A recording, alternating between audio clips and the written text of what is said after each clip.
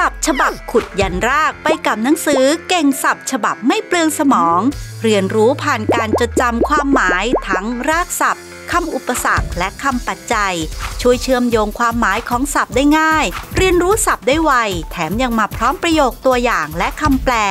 ช่วยให้เข้าใจความหมายนำไปใช้จริงได้ดียิ่งขึ้น แค่รู้รากศัพท์ก็จำศัพท์ได้แม่นแบบ forever มี MP3 ให้ดาวน์โหลดฟรีด้วยนะจ๊ะ